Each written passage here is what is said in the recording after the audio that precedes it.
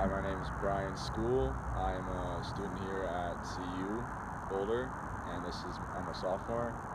Uh, I've been a football fan for as long as I can know. Uh, my parents are alumni, and they have had season tickets uh, ever since I was a little kid.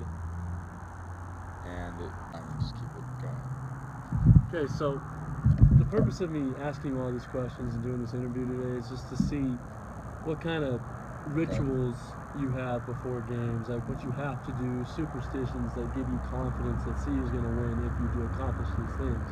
Okay. And I just, I just, I'm just trying to get a, a general sense of what you do as it pertains to what maybe other people do, or what do you do is more individualistic, holds individual to you and your family. Okay. So, got anything to say about that before we get going? So, Brian, where would you say your superstitions like originate from?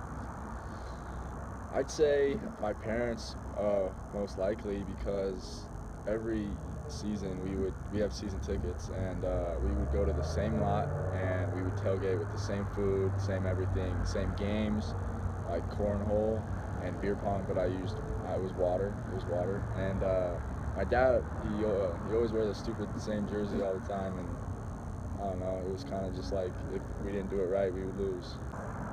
Do your parents still hold those same season tickets? And if not, do you still do the same stuff before games? Well, they don't hold the tickets anymore, but when they do come up, uh, we still do the same tailgating, like I said before, with all the same uh, ideas behind it, and it still works. We get some wins, and but personally, from now on, uh, me and my buddies, we just do the same things. We play beer die. It's like a it's a new game, and it's really fun. And we we throw the football around, and we always walk up to the game 30 minutes before the game, so we get good seats, and so we can cheer them on and that's that's pretty much how we do it. And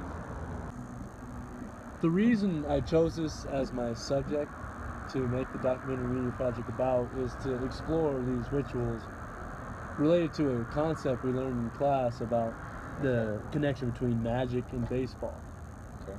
And I just want to know, do you think that it's kind of magic doing this, like some superficial superficial rituals that give you confidence that it's going to happen, or is it concrete that's going to happen? I feel like it is a little bit of magic, honestly, because some of the stuff that happens in sports you can't really explain or describe, and the stuff that I do and other people do that's superstitious, it gives you a little more magic, I would say.